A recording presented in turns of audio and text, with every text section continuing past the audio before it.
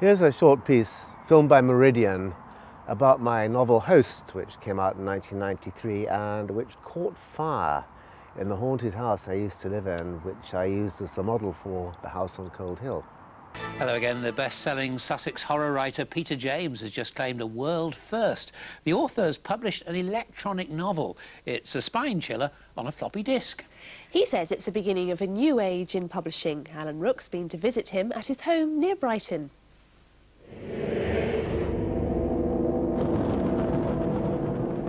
Clayton Manor, home to Peter James. A man who likes to frighten people. Joe was wholly unprepared for the stench. It was the smell of forgotten meat left in the trunk of a car for a month. Then he saw his father's face, and a cry tore itself free from his throat. A passage from Host, the world's first electronic novel. But exactly what does that mean?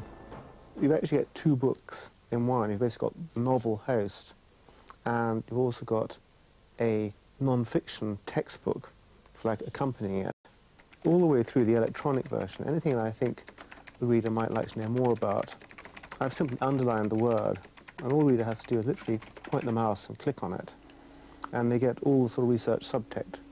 Host is the story of a brilliant scientist who wants to live forever. And he thinks that if he could create a computer that was smart enough to actually take the entire content of a human brain, then he could actually copy the content of his brain into that computer. And even after his physical bodies died, he could live on in a kind of virtual world inside the machine. Peter James has written nine supernatural chillers, translated into 22 languages. They're all bestsellers, and several are now in television and film production. But what frightens him?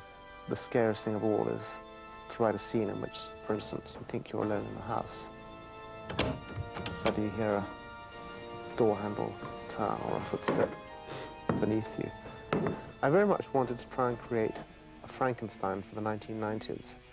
All the fears of technology. Shivers rippled down his skin. He gripped the handle tighter, listened, tried to tune out the rain, and concentrated on the door, on the passage beyond. He counted silently. One, two, three.